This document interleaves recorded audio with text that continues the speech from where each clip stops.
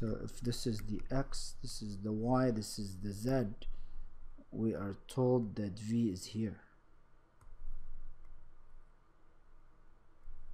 It's a sphere, yeah? Radius 1. So this here is 1, 1, 1, right? And and this this is the 3D delta function r. You could just rewrite it as r minus the zero vector, yeah?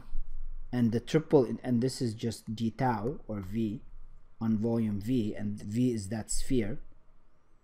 And so you're just gonna pick up the value of the function. This is delta, not integral. Uh, you're gonna pick up the value of the function at vector zero, Right. right? So this becomes now if the zero vector is in the sphere, and it is, this sphere includes the zero vector. Yeah.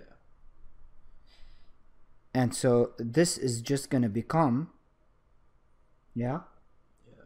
the value of f, assuming that this is f, evaluated at vector 0.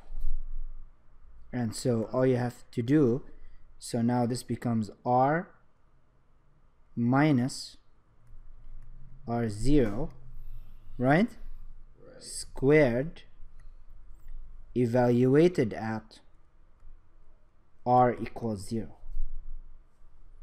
And so this becomes 0 vector, which is 0, 0, 0. That's what the 0 vector is.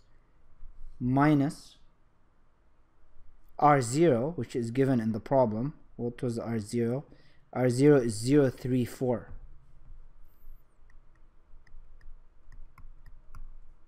All squared.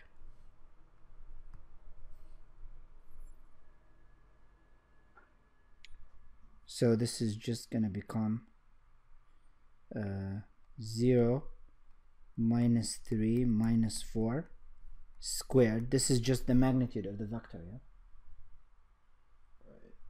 Which is 0 squared plus 3 squared plus 4 squared. Which is 16, 9, 25. Square root 25 is 5. That's how you do it. Yeah.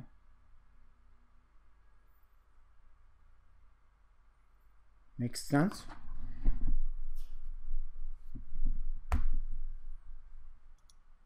Oh, we don't need to square it here, right? Because, it, because the we don't need to square root it. It's already squared. Yeah, because the magnitudes wouldn't. wouldn't So, be- so this we don't need. magnitude wouldn't. We don't need that, yeah. right? So it's just twenty-five. yeah. 'Cause the magnitude, 25. The magnitude would never be negative anyway. Yeah, I just uh, forgot. I just forgot about this uh, square. It's already squared. Although you'd have to, it's, if depending on uh,